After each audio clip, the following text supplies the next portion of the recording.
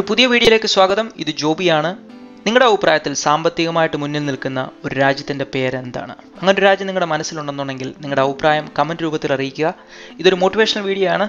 അതുകൊണ്ട് തന്നെ ഇന്നത്തെ വീഡിയോയ്ക്കകത്ത് സാമ്പത്തികമായിട്ട് മുന്നിൽ നിൽക്കുന്ന പതിമൂന്ന് രാജ്യങ്ങളെ നിങ്ങൾക്ക് പരിചയപ്പെടുത്തുകയാണ് ഈ വീഡിയോ കൊണ്ട് ഞാൻ ഉദ്ദേശിക്കുന്നത്. അപ്പോൾ നമുക്ക് നോക്കാം ആ സാമ്പത്തികമായിട്ട് മുന്നിൽ നിൽക്കുന്ന പതിമൂന്ന് രാജ്യങ്ങൾ ഏതാണെന്ന്. സാമ്പത്തികമായിട്ട് മുന്നിൽ നിൽക്കുന്ന രാജ്യങ്ങളെ പല ആൾക്കാരും സെലക്ട് ചെയ്യുന്നത് ആ രാജ്യത്തിന്റെ ജി നോക്കിയിട്ടാണ്. എന്നാൽ ഞാൻ ഈ സെലക്ട് ചെയ്തിരിക്കുന്ന പതിമൂന്ന് രാജ്യങ്ങളും ജി ഡി പി നോക്കിയിട്ടല്ല വേറെ മൂന്ന് കാര്യങ്ങൾ നോക്കിയിട്ടാണ്. അപ്പോൾ നമുക്ക് നോക്കാം എന്തൊക്കെയാണ് ആ മൂന്ന് കാര്യങ്ങളെന്ന് എന്റെ ലിസ്റ്റിലുള്ള ആദ്യത്തെ രാജ്യം നോർവേ എന്ന് പറയുന്ന രാജ്യമാണ്. സോഷ്യൽ പ്രോഗ്രസ് ഇൻഡെക്സ് പ്രകാരം നോർവേ എന്ന യൂറോപ്യൻ രാജ്യമാണ് സമ്പത്തിൽ മുൻപന്തിയിൽ നിൽക്കുന്ന ഒരു രാജ്യം. ഒരു സൊസൈറ്റിയിലെ ആൾക്കാർക്ക് കിട്ടേണ്ട അടിസ്ഥാന സൗകര്യങ്ങൾ അവരുടെ ക്ഷേമത്തിന് വേണ്ടിയുള്ള കാര്യങ്ങൾ അതുപോലെ തന്നെ അവർക്ക് കിട്ടേണ്ട അവസരങ്ങൾ ഇതൊക്കെ നോക്കിയിട്ടാണ് നോർവേയെ നമ്പർ വൺ റിച്ച് രാജ്യമായിട്ട് ഈ ഇൻഡെക്സ് തിരഞ്ഞെടുത്തിരിക്കുന്നത്. ഈ ഇൻഡെക്സ് പ്രകാരം ഒരു രാജ്യം സമ്പന്നമാകുന്നത് ആ രാജ്യത്തിന്റെ ജി ഡി പി കൊണ്ട് മാത്രമല്ല ആ രാജ്യത്തിന്റെ ആൾക്കാരുടെ ജീവിത രീതി കൊണ്ടാണ്. ഇനി പറയൂ അങ്ങനെ മെച്ചപ്പെട്ട ജീവിത രീതി കൊടുക്കുന്ന ഏതെങ്കിലും രാജ്യത്തെ നിങ്ങൾക്കറിയാമോ? അല്ലെങ്കിൽ അങ്ങനെയുള്ള ഏതെങ്കിലും രാജ്യത്താണോ നിങ്ങൾ താമസിക്കുന്നത്?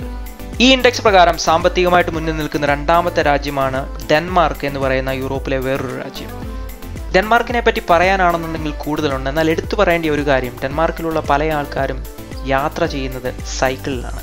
ഏകദേശം പന്തിരായിരം കിലോമീറ്ററോളം സൈക്കിൾ ട്രാക്കുള്ള ഒരു സ്ഥലമാണ് ഒരു രാജ്യമാണ് ഡെൻമാർക്ക്. സാമ്പത്തികമായിട്ട് മുന്നിൽ നിൽക്കുന്ന മൂന്നാമത്തെ രാജ്യമാണ് ഫിൻലാൻഡ് എന്ന് പറയുന്ന യൂറോപ്പിലുള്ള വേറൊരു രാജ്യം.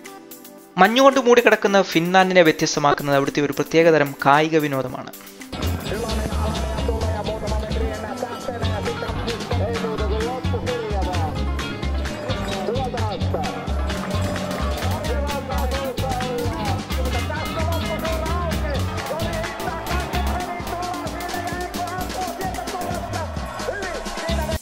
നാലാമത്തെ രാജ്യമായ ന്യൂസിലാൻഡിനെ വ്യത്യസ്തമാക്കുന്നത് അവിടുത്തെ പക്ഷികളാണ്.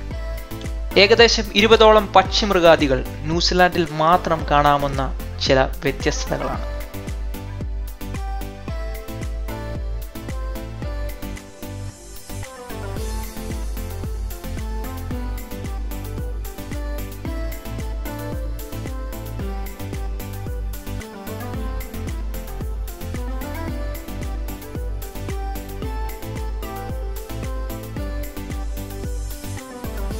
സമ്പത്തിന്റെ കാര്യത്തിൽ അഞ്ചാമത്തെ രാജ്യമായിട്ട് തിരഞ്ഞെടുത്തിരിക്കുന്ന സ്വീഡൻ എന്ന് പറയുന്ന രാജ്യം സമ്പത്തിൽ മാത്രമല്ല വേറെ പല കാര്യങ്ങളിലും കഴിവ് തെളിയിച്ചിട്ടുള്ള ഒരു രാജ്യമാണ്.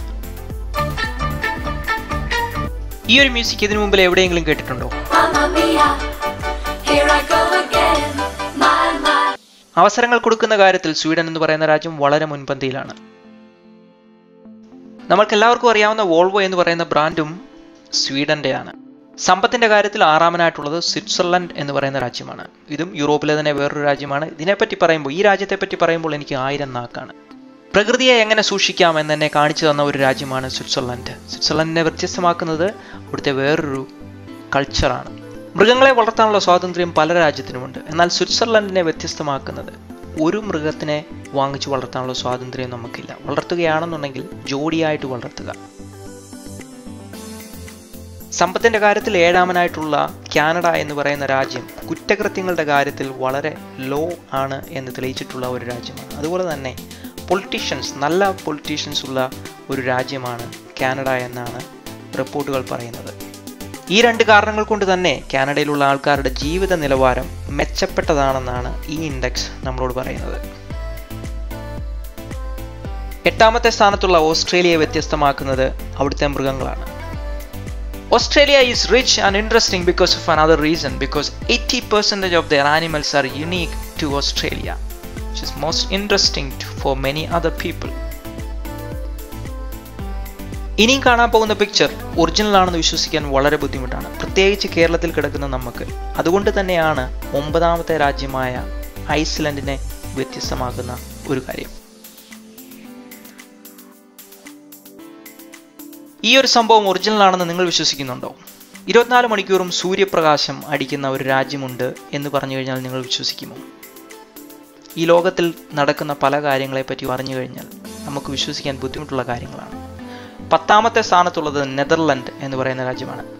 ഏറ്റവും ഹൈറ്റുള്ള അതുപോലെ തന്നെ ആരോഗ്യവാന്മാരായിട്ടുള്ള ആൾക്കാരെ കാണണമെന്നുണ്ടെങ്കിൽ നെതർലാൻഡിലോട്ട് പോകണമെന്നാണ് പറയുന്നത്. അതുകൊണ്ട് നിങ്ങൾക്ക് ആരോഗ്യം എന്താണ് ഹാർഡ് വർക്ക് എന്താണ് എക്സസൈസ് എന്തൊക്കെയാണെന്ന് അറിയണമെന്നുണ്ടെങ്കിൽ നെതർലാൻഡ് തീർച്ചയായിട്ടും വിസിറ്റ് ചെയ്യുക. ഈ ഇൻഡെക്സ് പ്രകാരം സമ്പത്തിന്റെ കാര്യത്തിലുള്ള പതിനൊന്നാമനാണ് ജർമ്മനി എന്ന് പറയുന്ന രാജ്യം. നിങ്ങൾക്കറിയാമോ യൂണിവേഴ്സിറ്റി ഫ്രീ ആണ് ജർമ്മനിയിലെന്ന്? സമ്പത്തിന്റെ കാര്യത്തിൽ പന്ത്രണ്ടാമൻ അയർലൻഡ് ആകുമ്പോൾ പതിമൂന്നാമത്തെ സ്ഥാനം വഹിക്കുന്നത് ജപ്പാൻ എന്ന് പറയുന്ന നമ്മുടെ സ്വന്തം അയൽവക്കക്കാരനാണ്.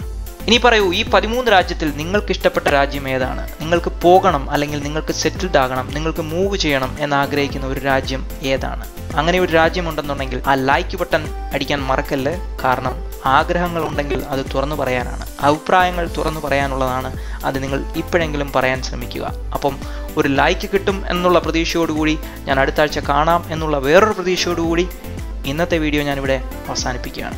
അപ്പോൾ നമുക്ക് വീണ്ടും കാണാം അല്ലേ?